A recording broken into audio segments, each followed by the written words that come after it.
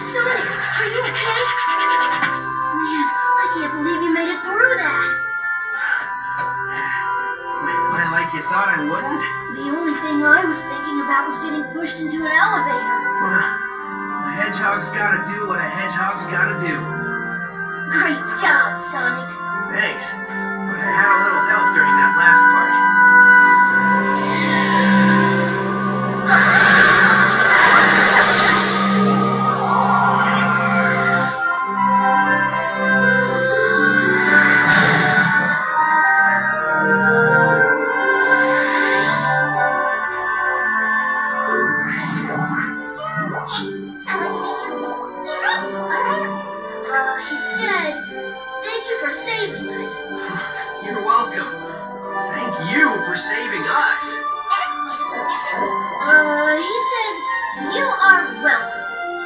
things translating pretty good.